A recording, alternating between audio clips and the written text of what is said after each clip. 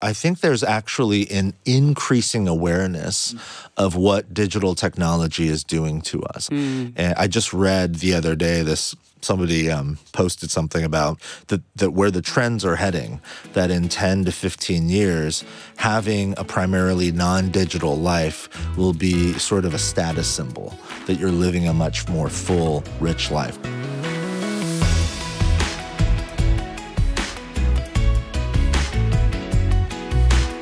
Welcome to Family Life Today, where we want to help you pursue the relationships that matter most. I'm Shelby Abbott, and your hosts are Dave and Ann Wilson. You can find us at FamilyLifeToday.com. This is Family Life Today.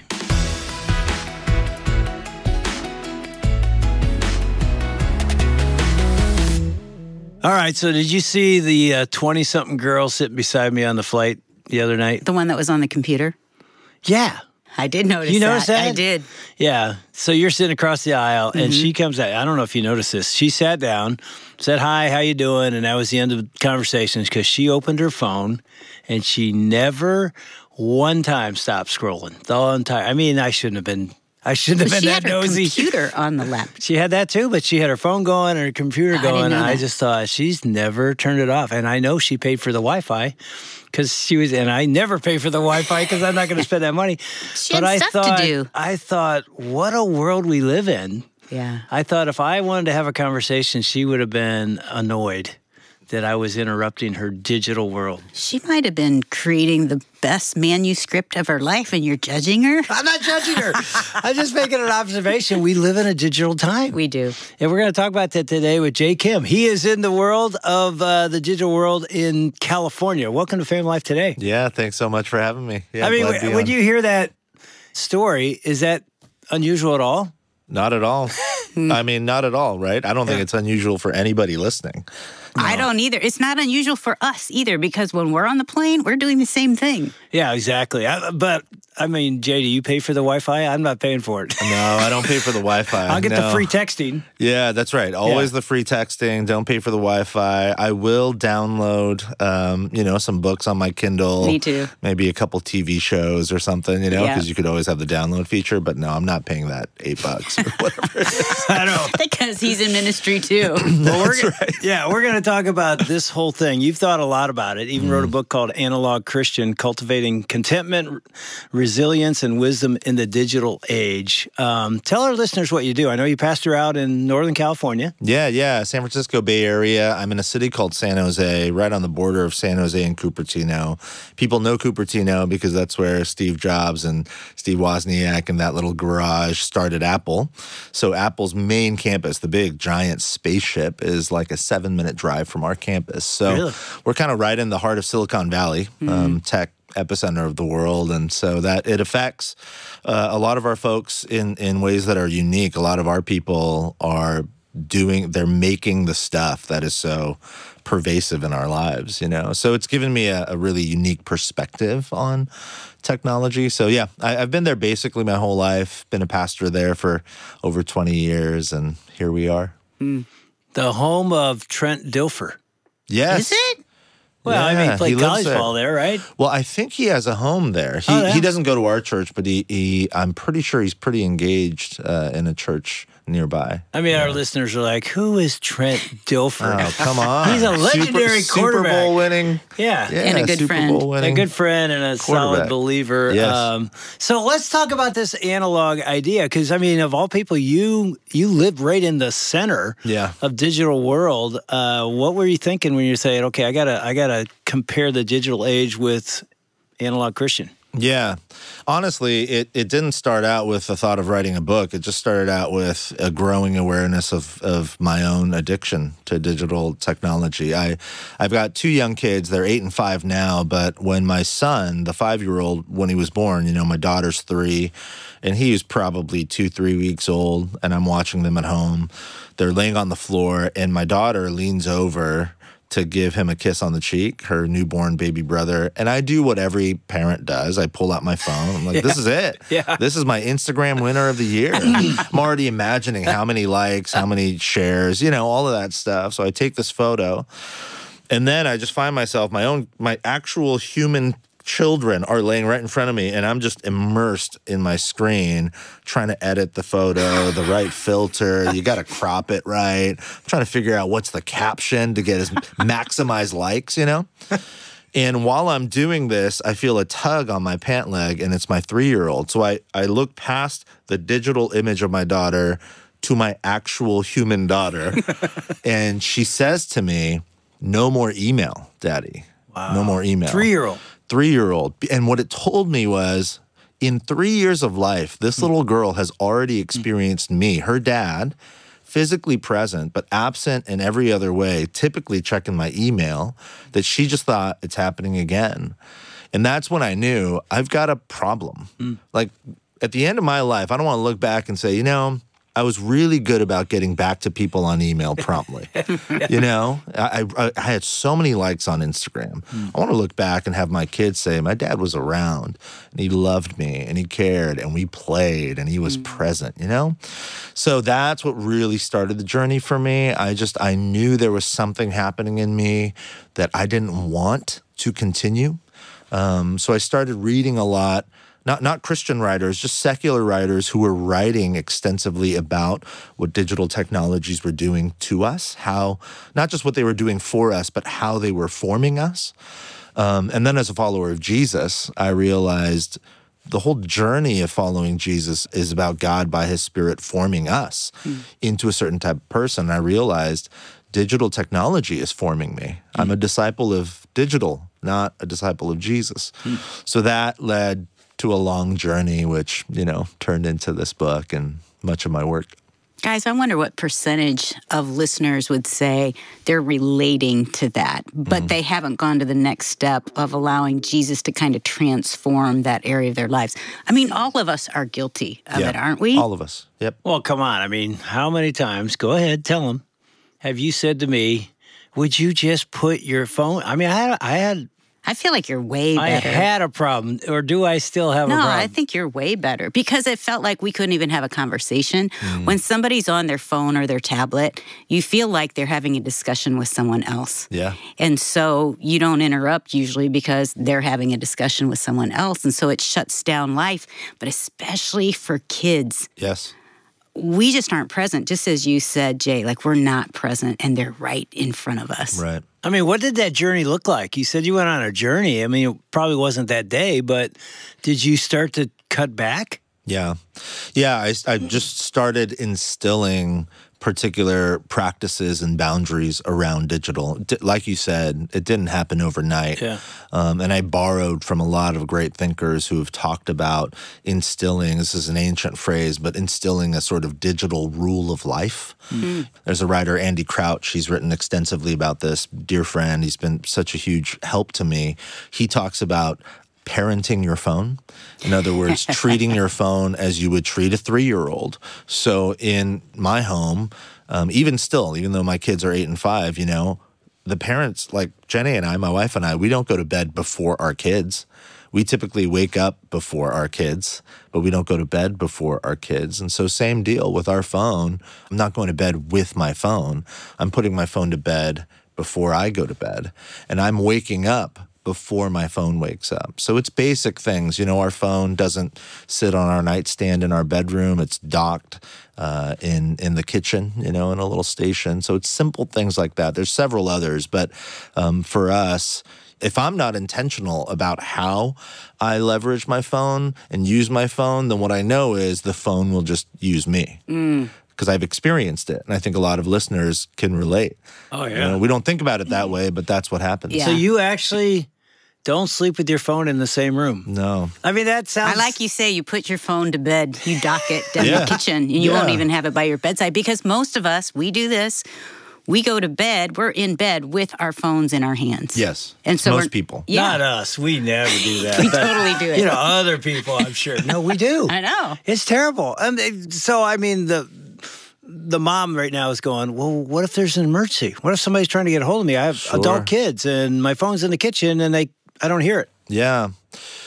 I would say just let's remind ourselves that for the entirety of human history until 15 years ago, we did not have phones on our bedside. so it is possible to live life, right? That that much is certain. It's possible. It is possible to live life without a smartphone and access to the world wide web of the internet in your uh, final moments before slumber. That is possible.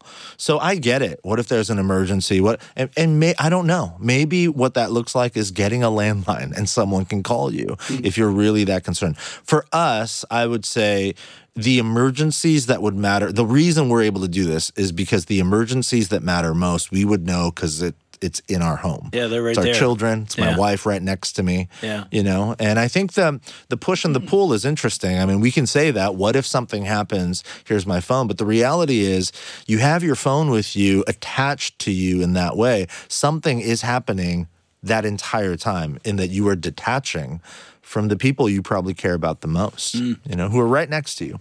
Yeah, I notice you're not wearing a uh, digital watch. No, I don't. Yeah, I don't have the Apple I don't Watch even thing. see your phone. Yeah, that's right. Well, Uh, we how are you functioning I right now? I don't think it's possible. you don't have any connect because I was thinking if the phone's in the kitchen, at least my watch is on my wrist, Right. and if some The emergency happened, yeah. I'd feel a you know a thing. But maybe that's not a good thing. Get Yeah. rid of it. analog clocks are still a thing. You can go and get one, you know, or a digital one, set an alarm. That's still possible. A lot of people will say to me, Well, how will I wake up? I'm just like, there's a thing called clocks. They're still available. it's really funny. I just, I don't know. We're so attached. We're so addicted. It's very difficult to imagine a life without it. So you're a pastor of a church. You're talking to Gen Z. You're talking to all different age groups of people. When you say this or you preach about this, which I'm assuming you have at Yeah. church, what's the response? Especially from kids. Gen Z has they've been growing up with this. They've had this in their hands, yeah. right? Yeah. They're very open. Are they? very open. I think there's actually an increasing awareness of what digital technology is doing to us. I'm actually quite hopeful that when my children are teenagers and in their college years and in their 20s and, and young adulthood, I am really hopeful that. Um, the paradigm shifts significantly. And I just read the other day this quick little somebody um, posted something about they think that, that where the trends are heading, that in 10 to 15 years, having a primarily non digital life will be sort of a status symbol, that you're living a much more full, rich life. Now, I don't know if they're right, but I really, really hope they're, they're right. Digital's never going away. And in fact, you know, I, I just need to be clear I'm not anti digital. Right, right. You know, I have a smartphone. I use my laptop. I use Zoom and all of those things. I have an Instagram, all of those things. It's not about the technology, it's about what we allow or do not allow the technology to do to us. And we have control over that if, if we decide to, to take control. Hmm. Yeah, I mean we're old enough to remember, um, you know, when the cell phone first came out. I mean the big box. Yeah. you know, it was a. And remember, I was mm-hmm. actually in seminary in the early '80s, and I remember thinking, It was I a bag should, under your car. I should Bag full. invest. I should invest, and I didn't. But I remember thinking this will be such a gift because on my drive home from work, I'll get the rest of the work I didn't get done, and then when I walk in the door, I'll be free. Right. That was such a naive thought because I thought that's how we'll live. It'll just help us be more present when we're home. Right. Not understanding it's going to be in our pocket or in our hand, probably, Yeah. unless we're very disciplined. And it will, what you said earlier, I won't be present. Yeah. I'll be there as a, as a husband, as a dad, but I won't be there, Right. uh, whether it's email or not. I mean, have you ever done this? My phone will be sitting on my thigh as I'm watching TV or sitting with Ann, and it won't even be just email or text. It'll be a sermon thought. Mm. And I'll pull it out and make sure I get it in my sermon notes for the Yeah. weekend. And again, she's looking at me like, Where'd you just go? It's like I went to my office, which I would have done in the old days, shut the mm. door. This is my time to do this. And I come out, I'm, I'm present. But now I'm never Right. really ever separated from that world. Is that your reality as well? Yeah, 100%. Yeah. Even still to this day, there's always the temptation to detach myself from what is actually happening in the present moment because my my brain has been hardwired hmm. to move at the pace of the internet. And that's mm. another thing that's happening to us. So we're growing really impatient. Mm. We're very scattered. You know, cuz because we have access to so much Yeah. Yes. we're constantly sort of moving mentally, emotionally to someplace else. You know, you think about sitting at a red light. You know, I, I'm always tempted sitting at a red light and it's a long red light. What do we do? It's I like, usually our- just go. go ahead, ask Ann. No That's an option. coming, I just go. That's right. That's an option. That's an option. For most people, there's the temptation, and in some states, it's Ill- it's illegal to. It you know, is you can get now a ticket. illegal in Michigan to pull out your phone at a stop sign. Yeah. Or ever in your car. Yeah, you can't touch Yeah. in California. You can't physically touch your phone Hmm. while you are in your car. But I see people doing it Yeah. Every day Yeah. at Every day, stoplights yes. all the time. Right. Right. And it's because there's something in us that cannot cannot be still in place anymore. Hmm. There was a time, you know, everyone listening to this, hopefully they can remember. there was a time where at a red at a red light, we would enter a brief little season of time, a moment of time that was called boredom. and you're talking about Yeah. sermons. You know what's really interesting for me when I really think about it? Yes, sometimes there's these beautiful sort of I see something or I hear something I'm like, oh my gosh, I've got to remember that, Yeah. and I capture it. But my best thoughts usually come when I'm when it's quiet and boring. Mm. And my mind and my heart have enough space to just be still. Mm. And that that creates the room for God to start filling us with whatever, you know? And yeah, I think we have to learn to embrace boredom again um, because I, I do think boredom is the path to creativity and beauty.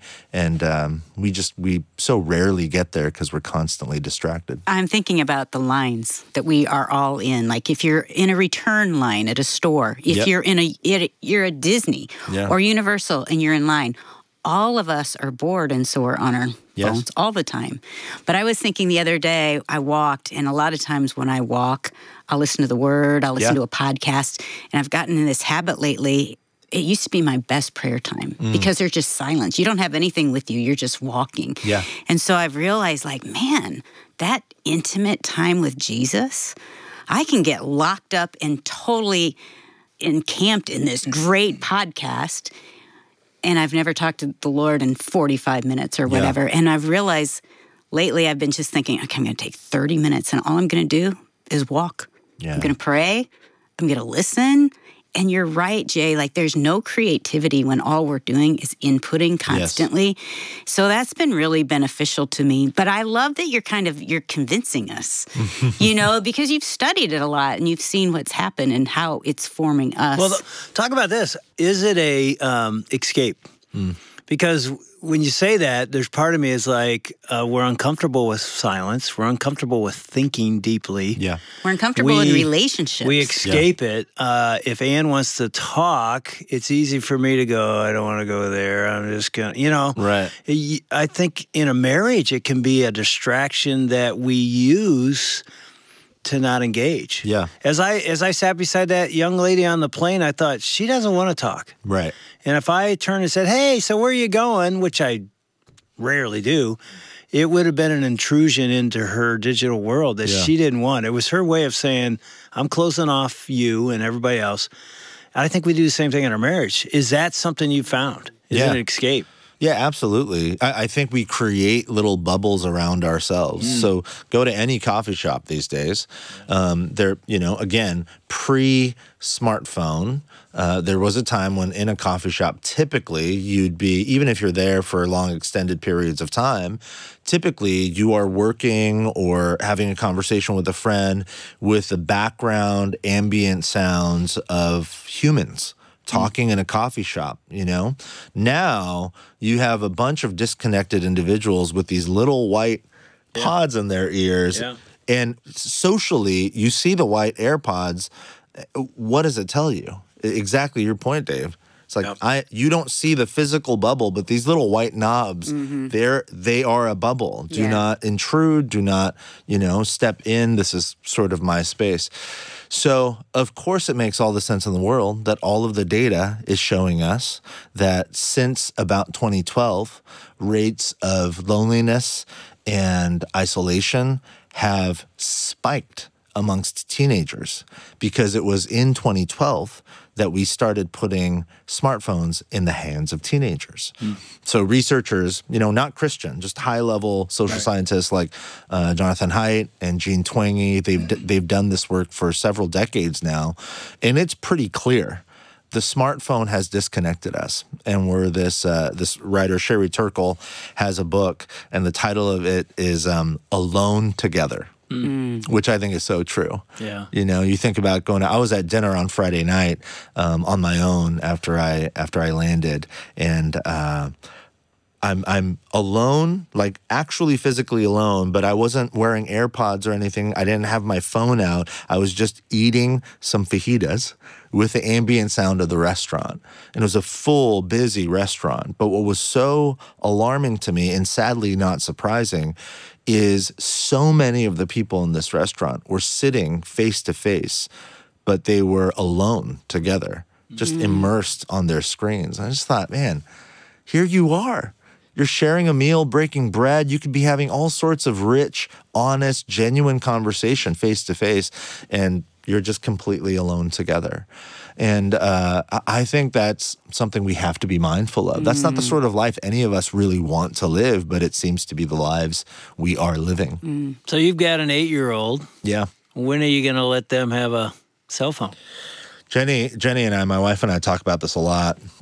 We think middle school, um, but we're pretty, uh, we're pretty convinced that it will not be a smartphone. Um, a friend of ours actually recommended the Apple Watch for teenagers. That it's actually a great tool because you can't do social media on the watch, but you've got access to everything else you really need. Te- Mom and dad can text you, you can call us. Um, so that's kind of where we're leaning right now. Uh, either that or just an old flip phone and she can download that game Snake, you know, that I used to play all the time on my old Nokia. You want her to experience Even it. back then, I was distracted just playing Snake, you know, on that little green screen with the black, but it was a different kind of distraction. So, yeah, we think we'll probably do the Apple Watch so she can text and call, but not have social media. And that's another thing we're pretty adamant about.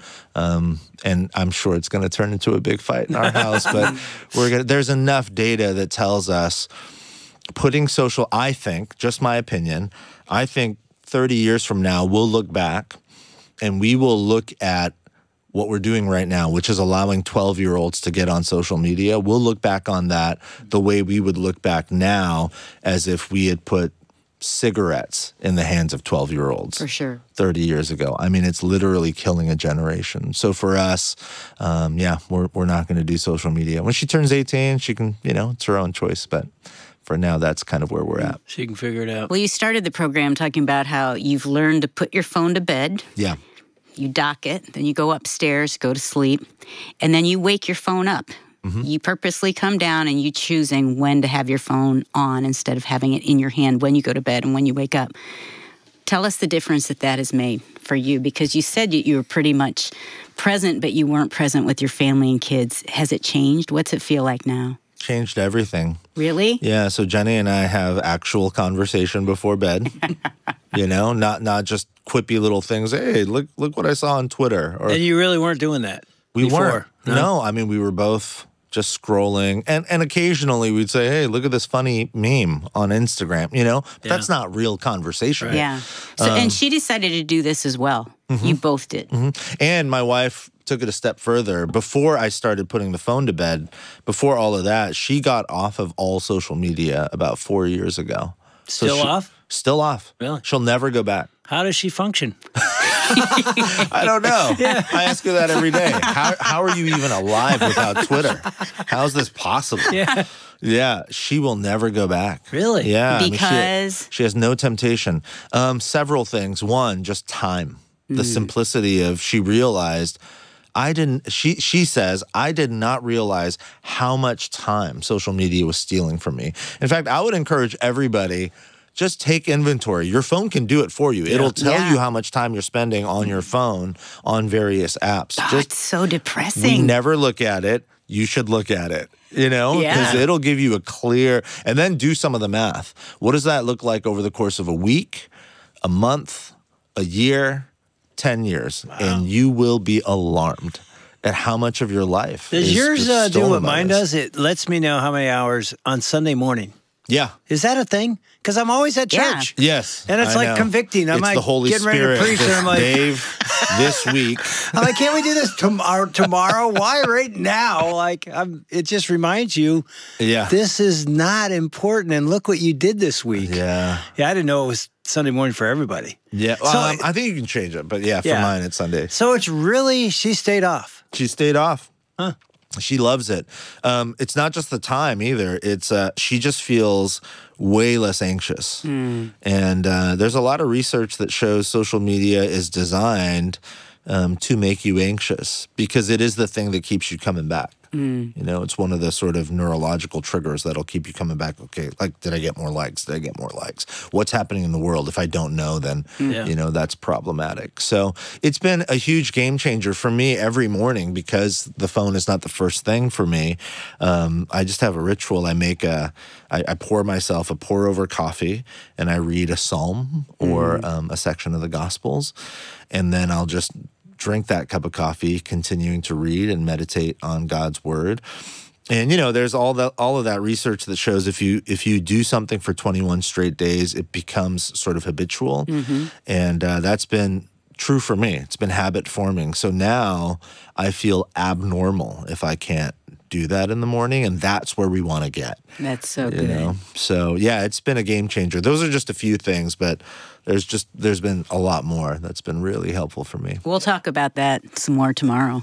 Yeah, and I was just thinking if uh, a married couple listening just did what you said, if we did it, forget our listeners, if we did it, that's a that's a game changer for your marriage. Yeah. And I'm guessing your daughter's not coming up to you anymore and going, "Get off email," That's right. because you're not. It's, it's not as prevalent as it was, right? Yeah, that's exactly right. Mm. I love it. I think that's a great application.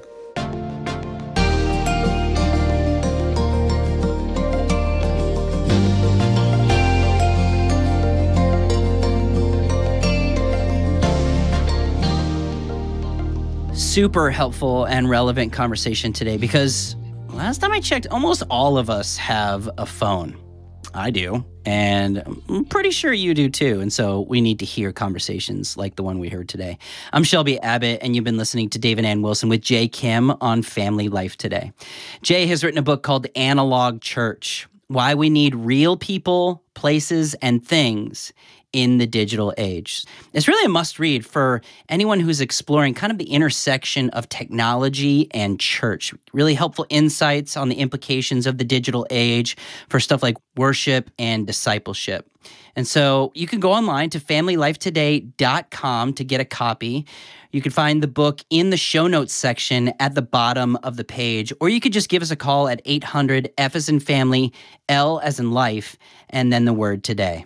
And sometimes when you talk about this subject, when it comes to technology, a lot of people can get very anxious about it. They think, you know, I'm not, I'm doing the wrong things. I'm not doing what I'm supposed to be doing, or maybe my life isn't where it's supposed to be right now when it comes to technology.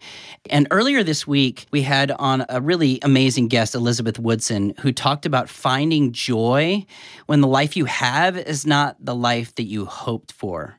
She wrote a book called Embrace Your Life, and it really helps you understand the contentment that you can find in the gap between where you currently are and what you desire for your life to look like. So, that book that Elizabeth wrote is going to be our gift to you when you give today at familylifetoday.com. You can get your copy with any donation that you decide to give to Family Life. You can head online to familylifetoday.com and click on the Donate Now button at the top of the page. Or you can give us a call with your donation at 800 358 6329. Again, that number is 800 F as in family, L as in life, and then the word today. And you can feel free to drop us a donation in the mail if you'd like to. Our address is Family Life, 100 Lake Hart Drive, Orlando, Florida, 32832. So, how does your smartphone act as a mirror? Is it promoting self despair by fostering an inward focused perspective with you? Well, Jay Kim is back again tomorrow with Dave and Ann Wilson to help us understand our smartphones. We hope you'll join us. On behalf of Dave and Ann Wilson, I'm Shelby Abbott. We'll see you back next time for another edition of Family Life Today. Family Life Today is a donor supported production of Family Life, a Cru ministry, helping you pursue the relationships that matter most.